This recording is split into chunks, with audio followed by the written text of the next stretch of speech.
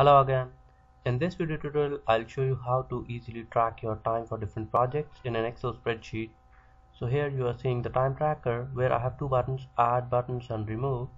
So when I click on add buttons, it adds the button for start and stop timer.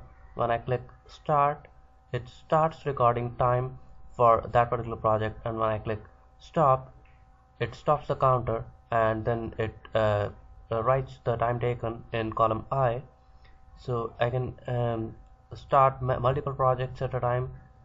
And those projects which are which are uh, which uh, I have started I can stop them at any point of time and re uh, record the time taken uh, so the tasks which are uh, not which uh, nobody has started yet so you can set an alert for that like this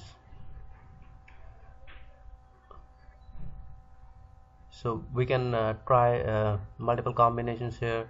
Uh, you can uh, start and stop multiple times. You can start multiple tasks at one at one time and then stop in any sequence and it will give you the numbers. Now when you want to remove these buttons you just need to run another macro that will remove those and you'll be having the time. I'll show you the code. So um, apart from plotting the buttons I'm showing you the code for measuring the time. So one is for start time and the other one is for stop time. Now the stop timer would be uh, calculating the time taken as well. So when I'm starting time uh, I need to know which button has been clicked. So application.caller on active sheet buttons will give me the range which uh, on which the button has been clicked.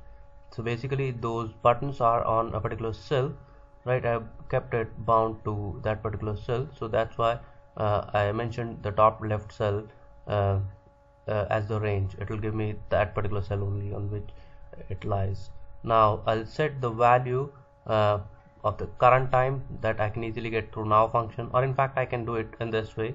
Cells uh, and then r dot row uh, and r dot column equals now so it sets the value uh, in that cell only. Basically you won't be able to see it because there is a button uh, on the top of it but it is actually there.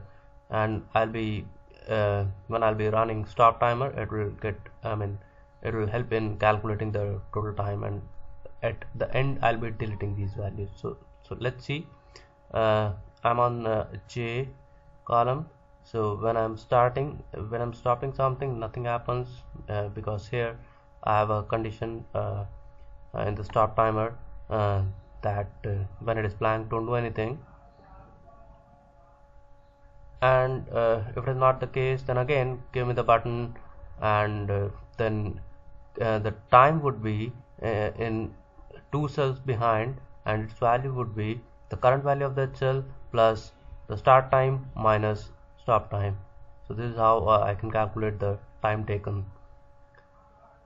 So keep watching our videos uh, if you uh, need more sessions uh, or if you want to see this in detail and how we plotted uh, the buttons and how we removed those you can write me at excel.microk at gmail.com goodbye